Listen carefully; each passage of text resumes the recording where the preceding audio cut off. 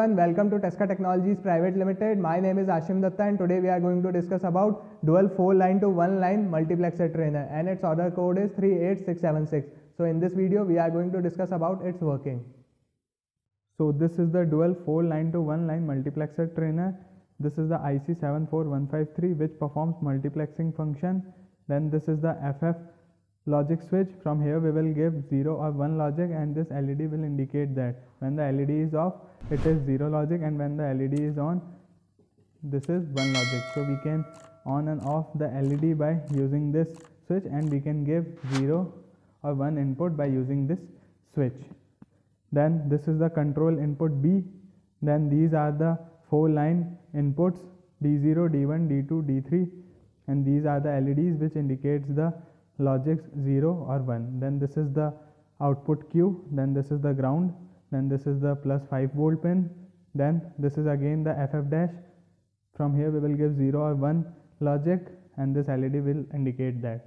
Then this is the control input a then these are the four line inputs d dash 0 d dash 1 d dash 2 d dash 3 and this is the one line output that is q dash. And this led will indicate the outputs and this is the main power on off button.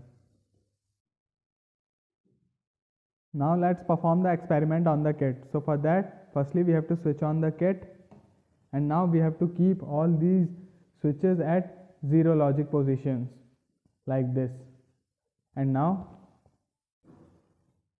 we will compare the input and outputs from the truth table which is given in the manual. So this is the truth table which is given in the manual so this is the truth table for this side and this is the truth table for this side. So we will compare one by one. So let's take this truth table first. So here you can see that these are the select inputs ff dash ff b and a. So this is the ff this is the ff dash and this is a and this is b. These are the inputs and this is the output q so this is the output q. Now we will keep the positions as mentioned in the truth table. So at first we have to keep ff dash and ff at high. So here high means logic 1 so for that we will keep ff dash at high.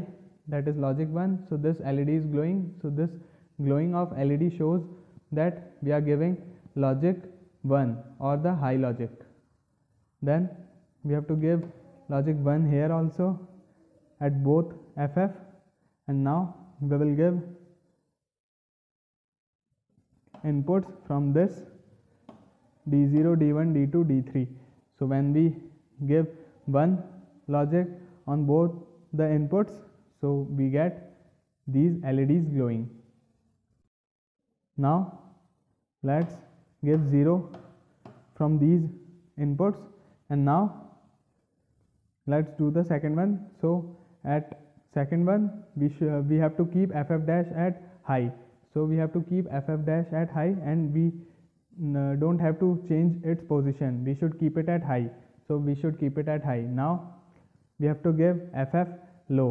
So we will give 0 input and now we have to give low from a and b also so from A and B we have to give low. So currently it is at low because the LED is not glowing so it is 0 logic from A and B. And now we will see the output at D0. So when we give logic 1 at D0 we can get the output at Q like this. Now when we keep B high and FF and A low then like this. I am keeping B high that is logic 1 and now we will see the output at D1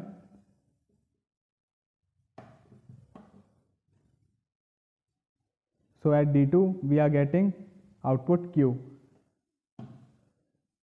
Similarly when we keep both at high that is A and B at high we get the output at D3 so when we give logic 1 at D3 we are getting output at Q as mentioned in the manual.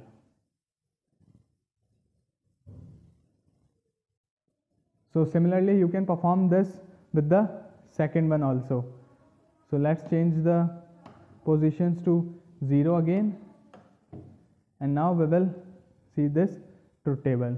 So here we have to keep ff at high so we have to keep ff at high and now let's do this configuration. So for that we have to keep ff dash at low ff dash at low as it is at low because the LED is not glowing so it is having 0 logic here.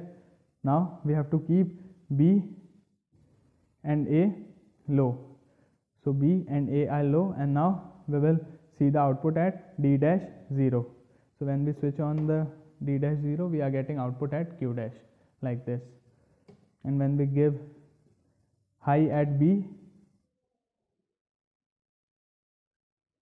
then we are getting output at D dash 2 like this and when we keep A at high we are getting output at D1 dash like this. So similarly you can perform all these configurations and you can verify the inputs and outputs from this table. So that is how you can perform this experiment and you can use this kit. So that's all the demonstration from my side. If you have any query related to this kit, you can contact at Tesca Global website. You can find the link in the description. For more information, go through the manual. Thank you for watching this video. If you like this video, like, share and subscribe to our channel.